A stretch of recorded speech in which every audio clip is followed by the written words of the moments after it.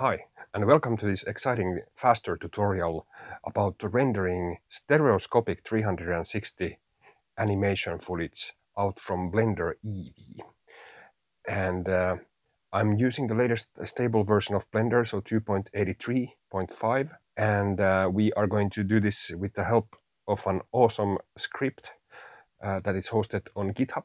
But let's first model the scene that we are going to be using. So we're quickly going to build like domino blocks and just make them fall with physics, just so we have something in our scene. So let's model this scene really quickly. We are simply creating these beveled little blocks, and then we are going to use the array modifier to distribute them in a circular fashion. So let's add an empty object in the center, and then we are going to select the mesh object and set the array to be used to use the object offset here. And now if we rotate the empty, then the arrayed uh, objects will react to that. And we want to have more of them. So let's increase the amount and we can see how they are spinning around. And now if we grab the empty with G and just move it around until we find a good um, arrangement for some domino blocks here that looks pretty good. Now we can just go ahead and apply the array and these are going to be all part of the same object. So I'm going to go to edit mode and quickly hit P and choose separate by loose parts to make each one of these their own object.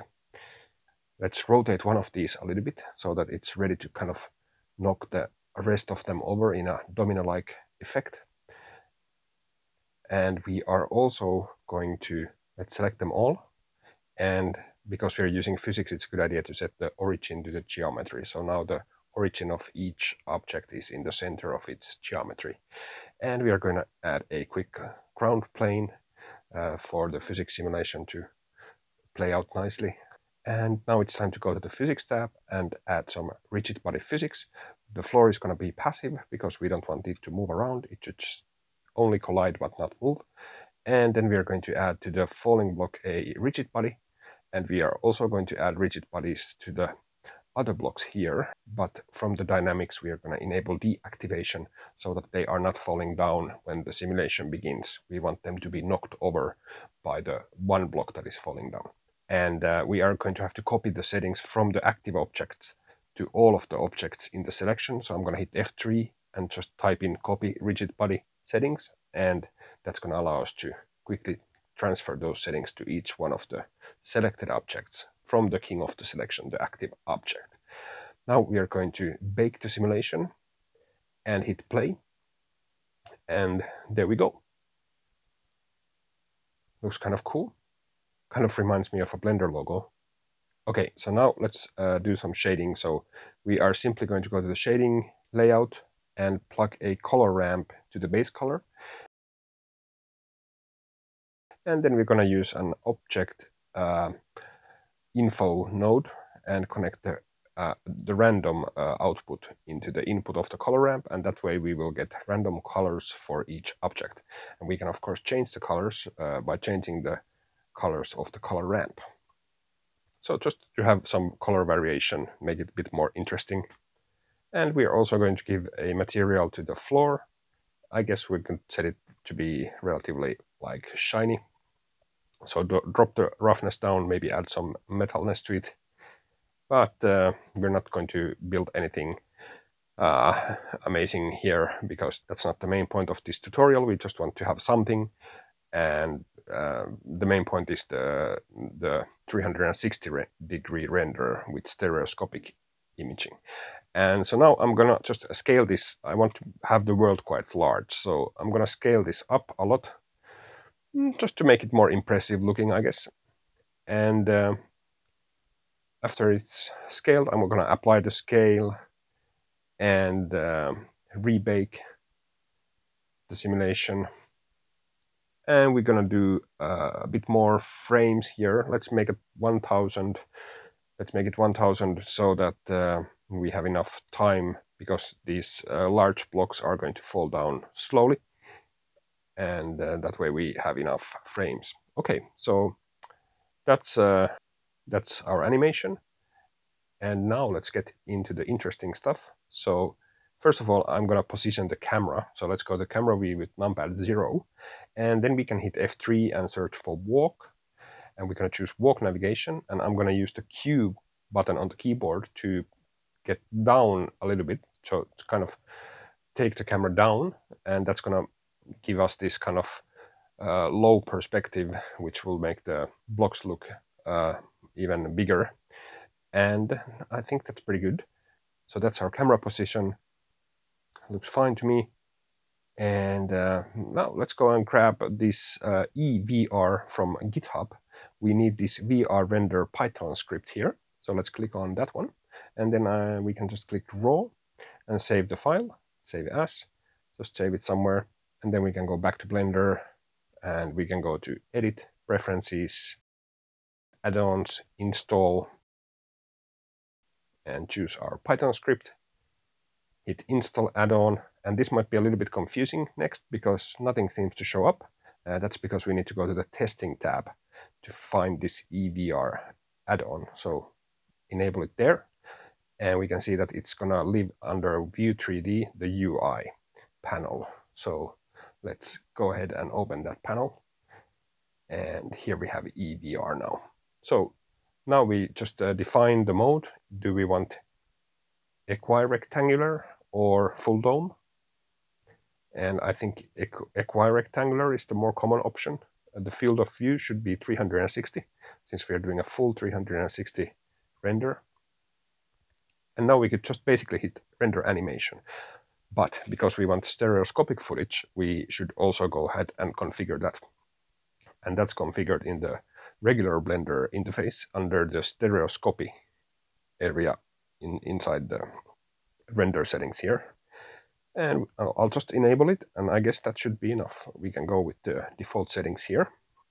Save the file.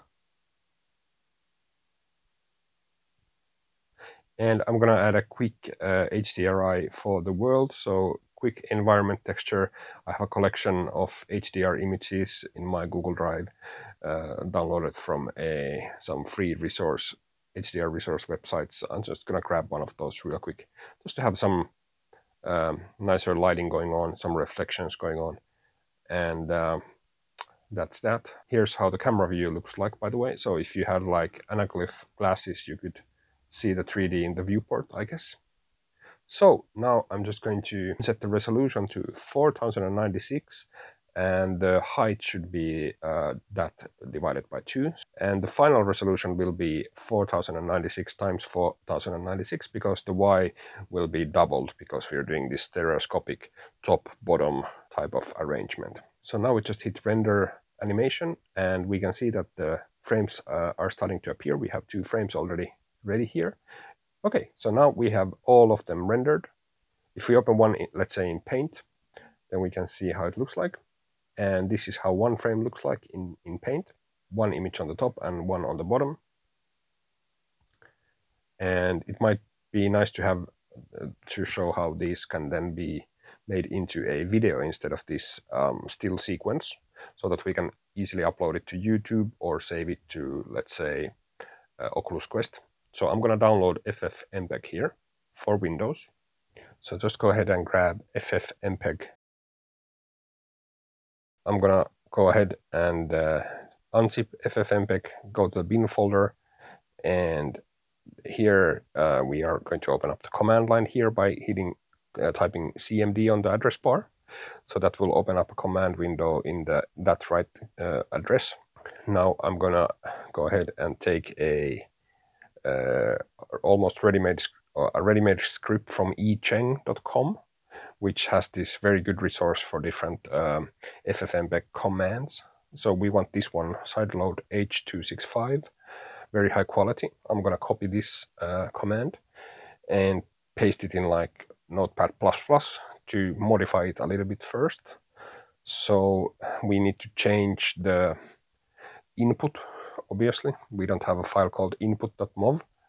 And then here's uh, how the output will be named. That's fine, I guess. Um, but for the input, we actually uh, need to use the image sequence. So in order to use an image sequence for the input, we need to type in the beginning string of the of the file names. So that in our case that's frame. Yeah, I can show you here if we go to the folder. There we go. We can actually see that the files are called frame, frame, and then followed by a six-digit changing, incrementing number.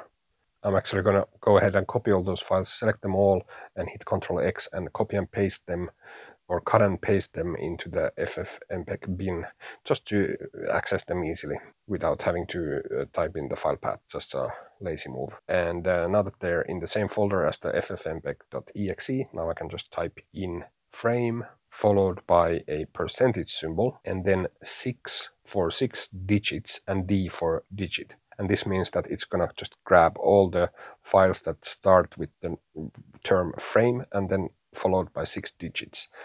And I need to type in also dash frame rate 30 to indicate that this is actually a sequence.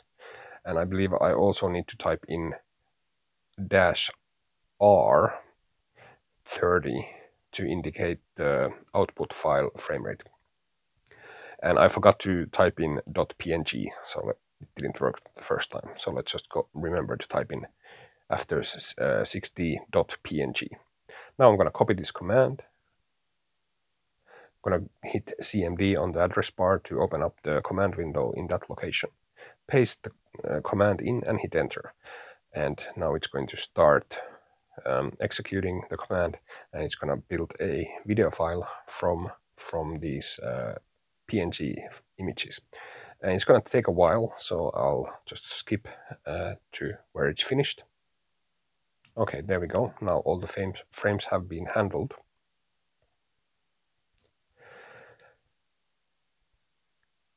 And um, now we can go ahead and see the result. So I don't know why it says encoded uh, 1200 frames because there was only 1000 frames, but for some reason it says 1200. But yeah, now I can open up this uh, output file in, in like VLC player and there we can see that it has built this nice video file for us. Okay, so one more step. Um, if we want to upload this to YouTube, we need to inject this with the proper metadata. So let's just go ahead and uh, do that next. I'm going to go and search for the metadata tool, free tool. Uh, I think it's provided by Google. And so just if you search for metadata inject injector, you can go to Google's GitHub and uh, there's the spatial media metadata injector. And I'm just going to click download for the Windows version, save it, unzip it, and run it. And now we are going to open up our uh, fresh video file that FFmpeg created. And we are going to indicate that it is indeed spherical 360 degree video and also that it's stereoscopic top bottom layout. And then we're going to hit inject metadata. And it's going to want to save it with a new file name and it adds the underscore injected string at the end of the file name. So it doesn't overwrite the old file so that's that. Now it should have the correct metadata and that means that youtube can youtube can handle it properly. So let's just uh, try the youtube upload and see what happens. So i'm gonna go to youtube hit upload. I'm gonna select my file with the injected string at the end of the file name and then it's going to just uh, bring it in. It's going to take a while to upload. Uh, let's just name this something like 360 stereoscopic anime from blender ev and then we're just gonna go through all the different settings here. There's nothing really important that you need to click. I'm to use unlisted for now. I uh, don't want to publish this just yet. And uh, yeah, it's going to process it for a while, so it won't work at first. So don't worry if it doesn't work immediately. It It's going to have to process it. So you can't really use the 360 degree features yet. So let's leave it to process and we'll come back uh, in a while. And now I'm back. If we refresh this, it has processed it enough to give us this 360 um, um, pan tool. So now we can use the hand tool to look around. Also, if you would be using uh, YouTube VR in, for example, Oculus headset, then um, this video would show up correctly there. And if you want to just directly uh, load it into Oculus Quest without YouTube, you can use this SideQuest software that allows you to um, sideload videos and applications to your Oculus Quest. So you would just download the Windows version, connect your Oculus Quest with USB, and then uh, you should be able to access the Oculus Quest internal storage and you can copy the file there, for example, into the movies folder, and then you would use the Oculus Gallery application to view it. It might uh, need a restart of the Oculus uh, before it sees the file. At least in my case, uh, I was waiting and waiting, and the file didn't show up. Uh, but when I restarted Oculus, then I could see the file. But hey, that's how easy it is to create stereoscopic 360 degree footage right from Blender Eevee, which is really exciting because now we can uh, render these huge resolutions with relatively fast speeds. So exciting times. Thanks for watching. Thank you Eternal Trail for creating this awesome eeVR script. And uh, I'll see you next time. Bye bye.